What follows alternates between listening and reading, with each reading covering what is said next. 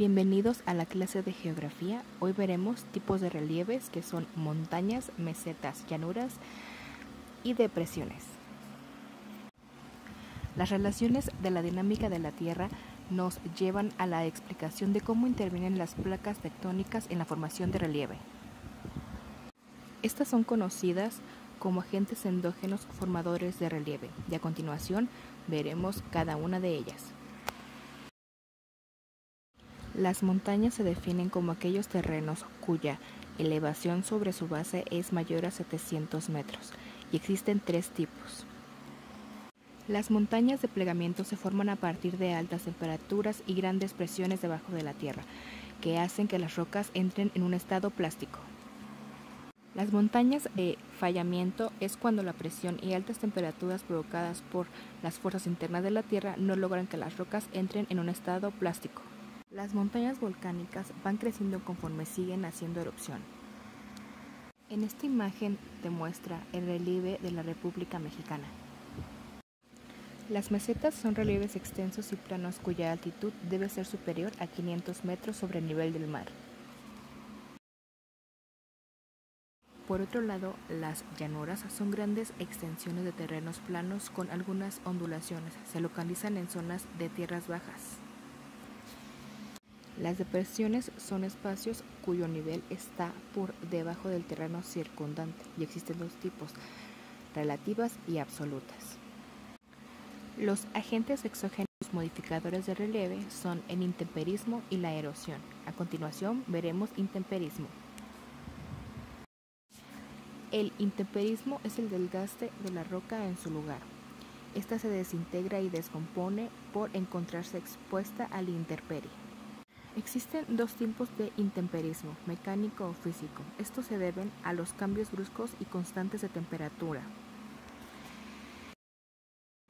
Y los químicos. Estos son que la roca se descompone y cambia químicamente sus componentes originales por otros diferentes.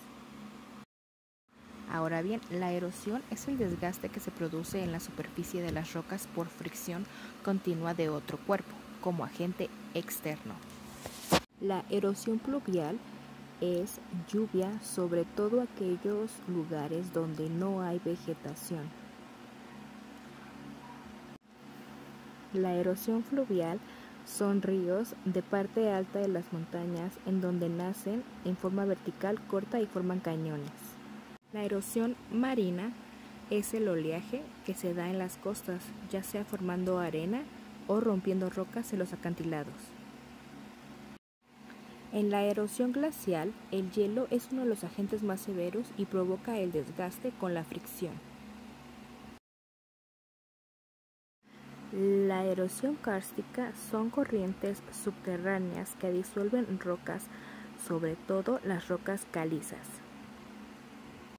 La erosión eólica la produce el viento, sobre todo en lugares con escasa o nula vegetación.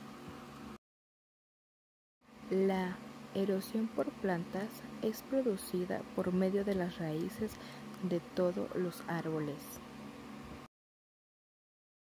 La erosión por animales es cuando el peso de las pisadas, cuando construyen madrigueras o cuando hacen represas.